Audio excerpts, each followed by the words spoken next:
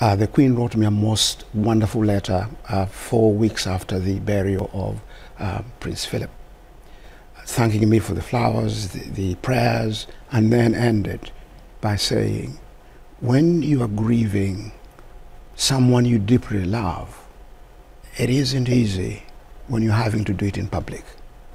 So my thought will be to the new king and the whole royal family. They are grieving publicly and that we'll find a space to do it.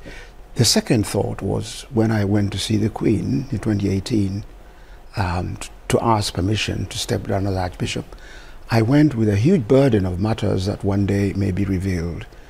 And I knelt down and I said, Your Majesty, please pray for me. So I put my hands together and she put hers outside mine. And we were silent for three minutes. And at the end she said, Amen. When I got up, the burden had lifted. That's the kind of a queen we had. Her life was so rooted in Christ that she was able to transmit that same power, that love, that grace. So I will be saying, Mom, on that day, 12th of July 2018, you lifted my burden, and I'm very thankful.